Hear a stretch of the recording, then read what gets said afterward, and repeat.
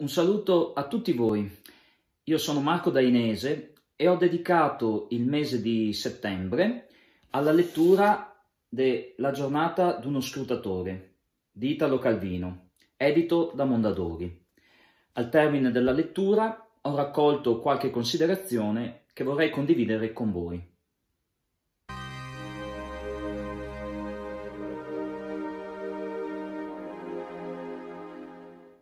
La giornata di uno scrutatore è un testo che si inserisce in questo brevissimo frangente del settembre 2022, mostrando una simpatica e fortuita coincidenza, nel senso che la mia lettura, dove si parla appunto eh, di uno scrutatore, quindi di una giornata elettorale, coincide con l'impegno civile che c'è appena stato e che ci ha appena visto protagonisti per rinnovare il nostro Parlamento. Dicevo, la giornata ad uno scrutatore appartiene ad una categoria dei testi di Calvino che io finora non avevo mai affrontato. Io mi ero occupato della cosiddetta trilogia popolare o trilogia degli antenati, i nostri antenati, cioè la trilogia fondata sul Visconte di Mezzato, sul Cavaliere Inesistente e sul Barone Rampante. Tre testi che io ho vissuto attraverso delle piacevoli esperienze scolastiche perché si tratta di testi che possono essere inseriti funzionalmente all'interno delle classi per avviare dei, per, dei, progetti di lettura, dei percorsi di lettura, come mi è capitato di fare quando insegnavo alla secondaria di primo grado.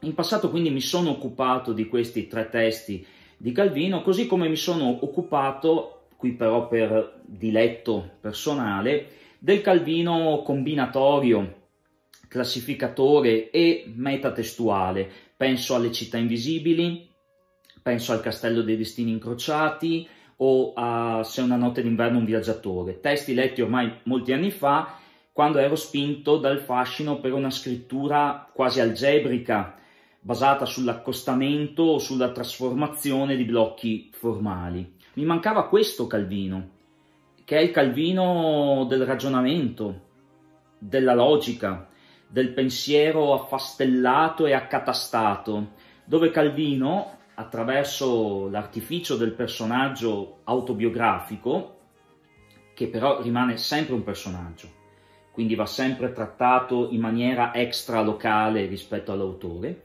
dove Calvino, dicevo, attraverso l'artificio del personaggio autobiografico, indaga il funzionamento della mente umana descrivendo come nel pensiero, nel ragionamento umano, le diverse direzioni, i diversi vettori nascano, si sviluppino e poi si dipanino all'interno della coscienza, oppure si intreccino o ancora corrano in parallelo.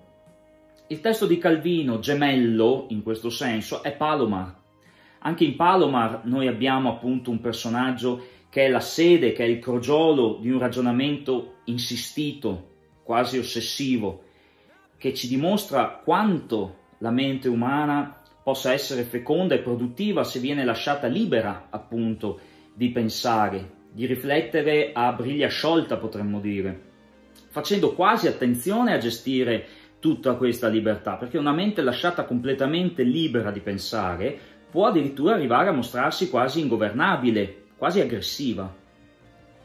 C'è un'immagine che lo stesso Calvino ci propone per avere una rappresentazione visiva di questo modo di ragionare e che Calvino ci trasmette attraverso le parole di Amerigo Ormea, che è il protagonista del romanzo.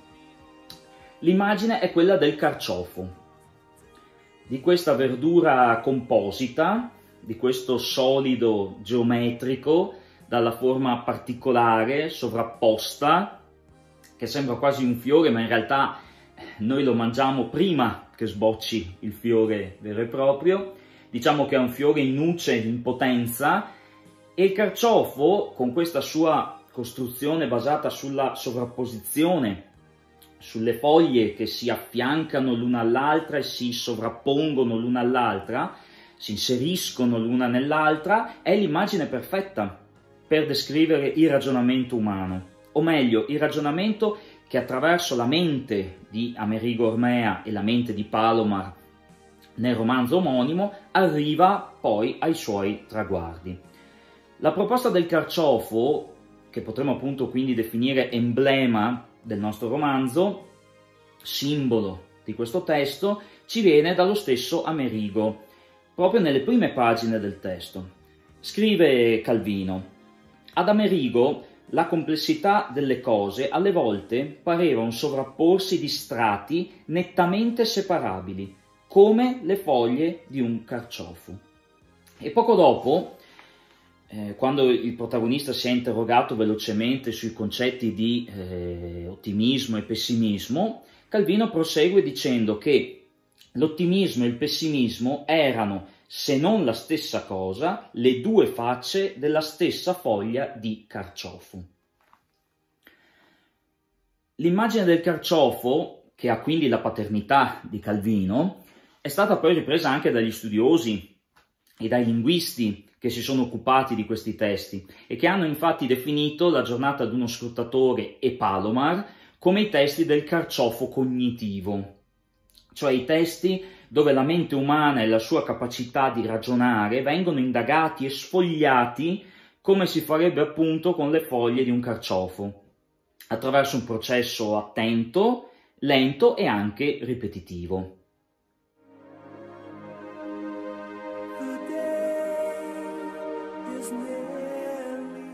Amerigo Ormea, lo scrutatore del titolo e il protagonista del romanzo breve o racconto lungo, come volete chiamarlo, è un personaggio che nasce, dicevamo, dalla biografia di Calvino. Nasce da una sua duplice esperienza personale in qualità di scrutatore al seggio. Lo scrive lo stesso Calvino prima di iniziare la narrazione in una nota scrive appunto che la sostanza di ciò che ho raccontato è vera, afferma Calvino, ma i personaggi sono tutti completamente immaginari. Ho cercato di basarmi sempre su cose viste con i miei occhi in due occasioni, nel 1953 e nel 1961. Ammesso che questo possa essere importante in un racconto che è più di riflessioni che di fatti. Ecco, in queste pochissime righe c'è già molto di quello che poi incontreremo nella lettura. Il punto di partenza è l'esperienza stessa di Calvino. Calvino come scrutatore al seggio in due occasioni. Quindi il racconto è verosimile e realistico, anche se i personaggi sono inventati, come lui ci ha appena detto. Il racconto parte da cose da lui viste direttamente. Quindi questo aspetto del vedere, dello scrutare, appunto, è proprio del protagonista ed è alla base del racconto, è la scintilla che fa partire il ragionamento che poi è il grande tema di questo libro. Infatti cosa abbiamo appena letto? Che secondo Calvino questo è un romanzo più di riflessioni che di fatti. Amerigo Ormea parte dai suoi occhi, dalle sue pupille che rimbalzano curiose da un angolo all'altro del Cotolengo, perché il seggio che viene allestito e di cui Amerigo Ormea fa parte è uno dei seggi previsti all'interno del Cotolengo, questa sorta di città nella città, come la definisce Calvino nel testo, all'interno di Torino, questo istituto religioso mastodontico dedicato alla cura dei meno fortunati, delle persone malate, dei deformi, degli invisibili, e questo sarebbe un bellissimo tema da approfondire partendo da questo libro, cioè il tema della visibilità della deformità. Molti dei pazienti del cotolengo sono deformi, quasi inguardabili secondo gli standard estetici di quella che può essere considerata la normalità corporea.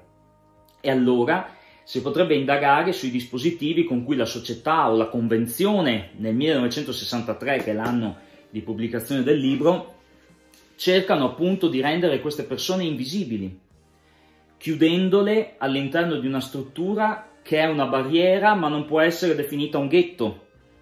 Questo sarebbe un tema sicuramente da sviscerare in Calvino, tenendo conto che la corporeità nella bibliografia di Calvino non è un tema molto indagato, se non appunto in questo testo. Amerigo Ormea scruta, osserva, parte dal dato sensoriale, dal senso della vista, per alimentare, per dare carburante alla sua riflessione, che poi si sviluppa in maniera spesso non lineare, iniziando un percorso e poi interrompendolo per iniziarne un altro e poi chiudere questo secondo, ma forse questo secondo si è sviluppato troppo e non riesco più a riprendere il primo e avanti così.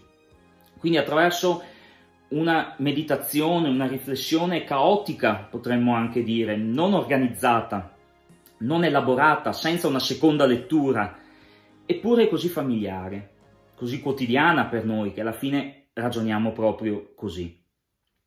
Non nascondo il fatto che un modo di scrivere di questo tipo, più legato all'istinto e alla nascita delle idee, rispetto a quella che potrebbe essere una considerazione generale della scrittura, cioè una comunicazione basata sul labor lime, sul raggiungimento di una condizione ultima, definitiva, ecco, non nascondo che questo modo di scrivere possa anche mettere leggermente a disagio, almeno a me così è successo durante la lettura, soprattutto per un utilizzo iperbolico e continuo della parentetica, cioè della parentesi.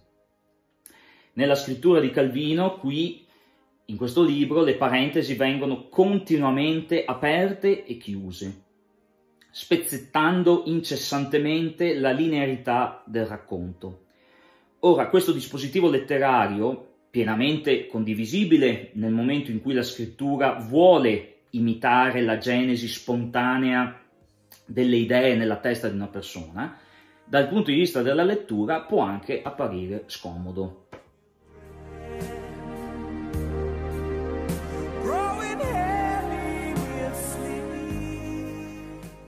Tra tutti i ragionamenti che Amerigo Ormea costruisce nel corso del racconto, ce n'è uno più importante degli altri, che viene ripreso più volte e che è strutturato su un doppio livello. Partiamo dal primo livello. Amerigo Ormea indaga sul concetto di suffragio universale. Sappiamo che il suffragio universale permette a tutti i maggiorenni di votare ma quando in qualità di scrutatore, quindi in qualità di garante, Amerigo si trova di fronte a individui che presentano patologie psichiatriche a causa delle quali non hanno più coscienza di sé e non sono nella possibilità di esprimere quello che dovrebbe essere un voto libero e non condizionato, ecco che l'assioma del suffragio universale vacilla. Questi individui possono essere votanti? Possono essere lettori attivi? si chiede il protagonista. Questa domanda lo assilla per buona parte del romanzo, fino a quando viene portata a un secondo livello. Verso la fine del racconto il seggio da stabile diventa mobile. Si deve spostare per permettere la votazione a quei malati del cotolengo che sono allettati e quindi un piccolo gruppo di scrutatori, di cui fa parte anche il protagonista, scende, compie una sorta di discesa infernale, si inoltra in un girone dantesco nascosto, in una parte più profonda del cotolengo, dove si trovano quei pazienti che non si vogliono mostrare nemmeno all'interno della struttura stessa. Sono pazienti costretti a letto, spesso incatenati a letto, sono pazienti che hanno perso la conformazione antropomorfa, che hanno perso completamente la lucidità mentale, che si esprimono attraverso ululati, grida e versi animaleschi. In tutto questo strazio, Amerigo si trova in una situazione molto difficile, deve affrontare questo strazio. E la domanda di prima viene ulteriormente approfondita. Amerigo non si interroga più su chi sia un votante, si interroga su chi sia un uomo, indaga il post umano, si chiede con uno sforzo non indifferente, perché in questo momento il ragionamento e la compassione cozzano tra di loro, si chiede appunto se di fronte a certe forme di vita si possa ancora parlare di umanità. Alla fine lui la risposta se la dà e io non voglio anticipare nulla, la scoprirete voi da soli se non avete ancora letto il libro. Però è chiaro che dal pretesto del suffragio universale si sia passati ad un secondo livello, a un approfondimento sull'uomo e sulla capacità o sulla necessità di doverlo definire. Quindi un tema di gran lunga più imponente.